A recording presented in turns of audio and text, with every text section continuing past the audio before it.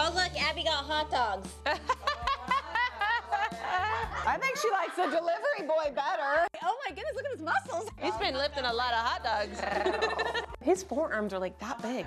I'm surprised she didn't tell him to take off his shirt. No, me too. Have him eat one to make sure it's not poisonous. Who's the card from? Okay, who sent her hot dogs? What's it say? You're a wiener. Candy apples. Yeah, candy apples. Candy apples. Had to.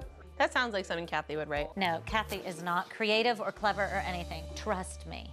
This is our first time back on the East Coast competing. We have to beat the Wicked Witch of the West and all the crab apples, especially after she's in our dressing room yelling in my face.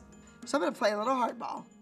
Kalani, get your costume on, because you're gonna go downstairs and you're gonna freak their soloist out.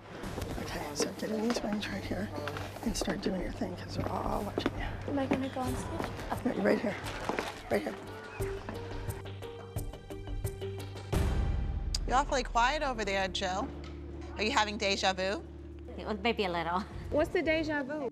She would have a teammate go on stage, backstage, so people were like, oh my gosh, I didn't know she was competing, and it would mess with their minds. I would be scared too.